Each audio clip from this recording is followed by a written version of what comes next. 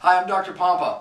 You know what the most dangerous room in your house is? Yeah, I'm standing in it right now, your bathroom.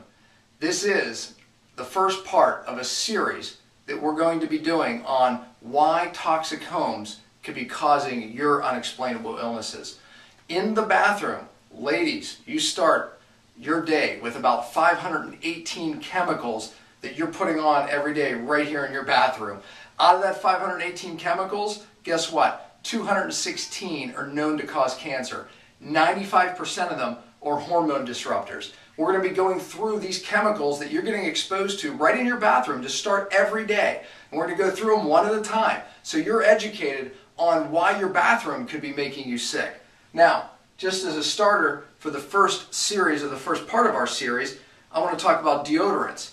We're talking about something that you're putting on every day on the most porous part of your body, your armpits. Actually, they are made to sweat. So the, really the most dangerous thing you could do is stop your armpits from sweating. So if you're using antiperspirants, please stop. However, we also know that just the deodorants that you're using contain many toxic things, from things like propylene glycol, which is actually antifreeze, and also something called DEA, also phthalates. Phthalates are plastics that absorb right into your bloodstream. And by the way, your armpits, you put it there, it's into your bloodstream in moments. And guess what? Phthalates, things called DEHP, things that go right into your bloodstream, mimic your hormones, hormone disruptors, leading to things like weight gain, hormone imbalance, um, all kinds of mood disorders, and we can go on and on from the dangers of these chemicals.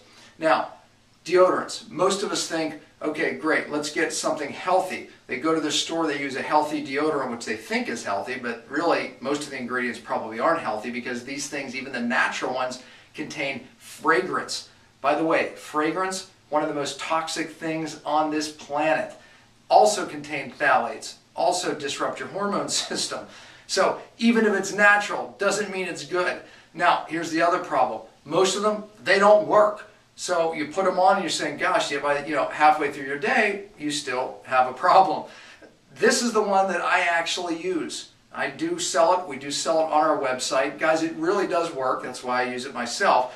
And let me tell you something. Not only does it work well, but it actually smells good and there's no dangerous fragrances.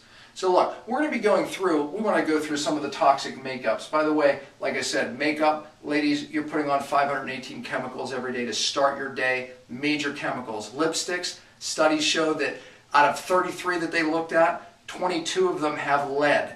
Very high levels, not to mention BPA, phthalates, and a lot of other chemicals that cause hormone imbalance. So guys, we're going to be going through these products and just showing you very easy switches you can do. We're starting in the most toxic place in your bathroom.